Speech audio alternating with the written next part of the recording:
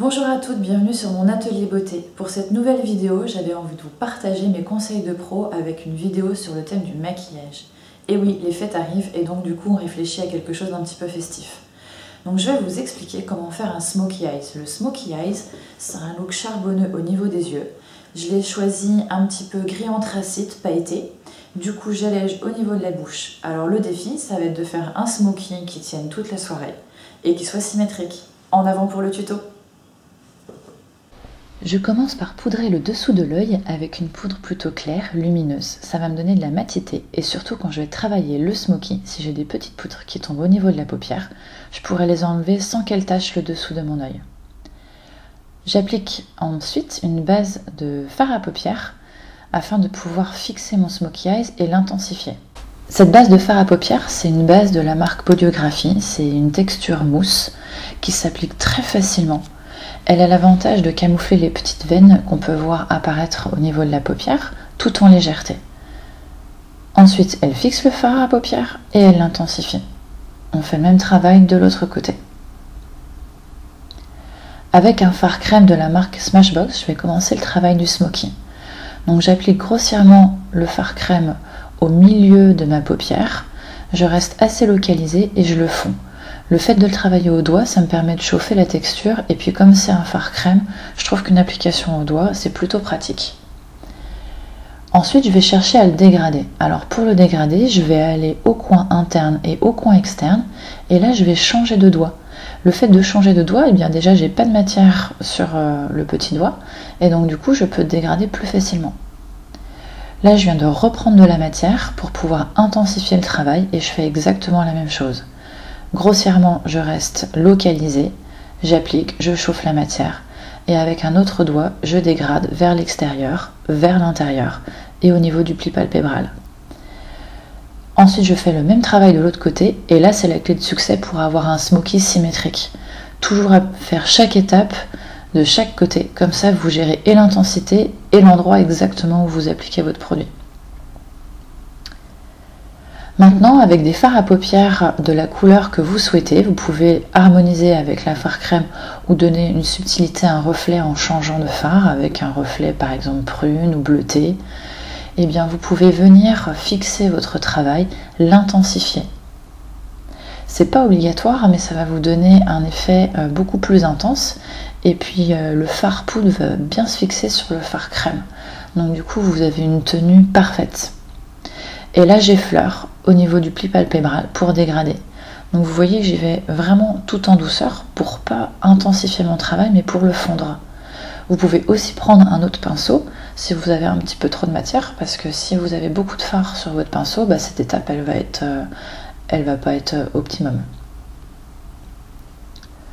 Et ensuite, on va faire le même travail de l'autre côté. J'applique mon fard et je le dégrade au niveau du pli palpébral. Là, vous voyez, je viens de prendre un autre pinceau.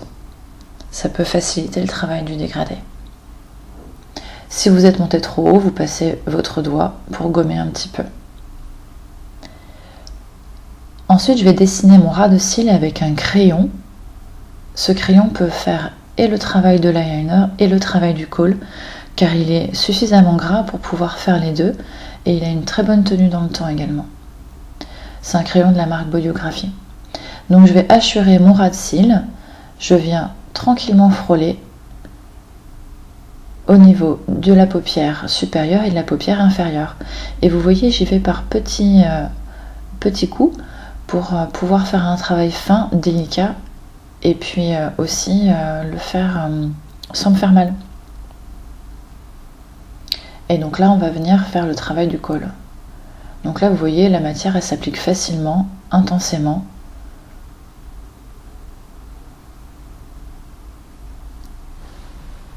et on fait l'autre côté. Astuce de pro, reprenez vos fards que vous avez utilisés tout à l'heure. Vous prenez un pinceau plat pour pouvoir appliquer votre fard comme si vous dessiniez un trait d'eyeliner et on va fumer le trait de crayon, d'où l'effet smoky. On travaille la paupière inférieure et supérieure. Comme ça, ça va fondre le trait de crayon dans votre travail, dans votre dégradé. Attention à ne pas trop en mettre parce que là, si vous chargez trop votre pinceau de fard, eh bien ça va tomber au niveau du cerne et du coup, ça va vraiment marquer euh, l'effet fatigue. Donc là, on travaille tout en légèreté, quitte à en appliquer euh, deux fois.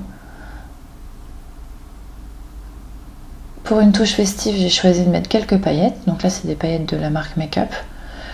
Choisissez là où vous voulez en appliquer. Moi, je le concentre en général au niveau du coin interne pour pas en avoir euh, sur tout mon dégradé. Et puis ensuite, je les estompe. Je les dépose dans un premier temps et je les estompe dans un deuxième temps. On peut aussi en mettre un petit peu au coin interne, sur le dessous de l'œil. Euh, faites en fonction de vos envies.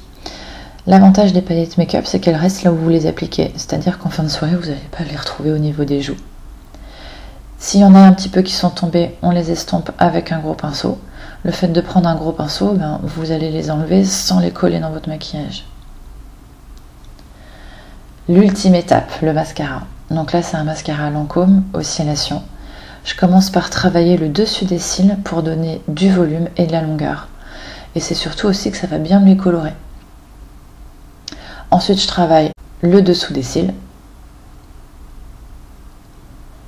Je fais un mouvement de zigzag à la racine et ensuite je lisse au niveau des longueurs. Je vais chercher à travailler les cils extérieurs vers l'extérieur, à diriger les cils de l'intérieur vers l'intérieur et ceux du milieu plutôt droit. Cela permet d'agrandir le regard. Avec la brosse comme ça de manière perpendiculaire, je vais orienter et séparer les cils et j'essaie d'emprisonner les cils rebelles. Pouvez ensuite travailler le dessous de l'œil sans remettre euh, la brosse dans, votre produit. Avec ce qui reste sur la brosse, ça devrait être suffisant pour pouvoir colorer vos cils sans les charger. On peut éviter cette étape si vous avez des marques de fatigue assez prononcées parce que si on maquille le dessous de l'œil, ça peut, euh, ça peut permettre ça va intensifier un peu les marques de fatigue. Donc le mascara au niveau du dessous de l'œil, c'est plutôt si euh, la zone est claire et lumineuse. Ensuite, on nettoie le pourtour avec un petit coteau-tige sec ou un goupillon. Et voilà notre smoky pailleté, prête pour les fêtes? J'espère que cette vidéo vous aura plu. Je vous souhaite d'excellentes fêtes de fin d'année. Si vous avez aimé, pensez à liker. Laissez-moi aussi vos commentaires en barre d'infos, j'y répondrai plus rapidement possible. Et à bientôt pour de nouveaux conseils sur mon atelier.